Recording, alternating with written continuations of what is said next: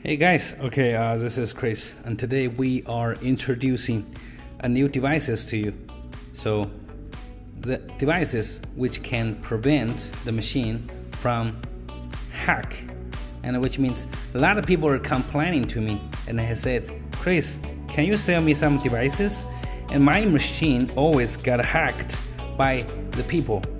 The people buy some devices from China, and then they'll hack a machine. So right now let me introduce to you a new devices.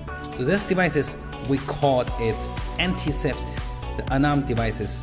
So we have the Chinese manual and also we have English manual. So when you receive it, you will know how the virus connected. See all the words in English.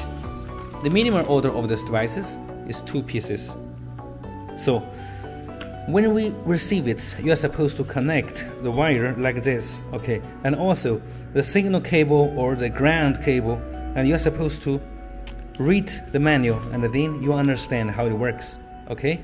So this will be connect to 110 volts. You see, this device is, is connected 110. Wait a second okay? This device is connected 110 you see this is control model. Wait a second. You see control the model and control sensible something like that okay?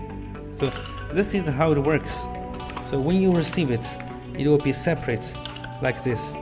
There is a num and the red part devices. Okay? So will be like this. Okay? This is how what you will get when you pay the money. Okay? Thank you. Bye bye and by the way let me send you a video. Let me find a videos. Um oh later. Thank you, man.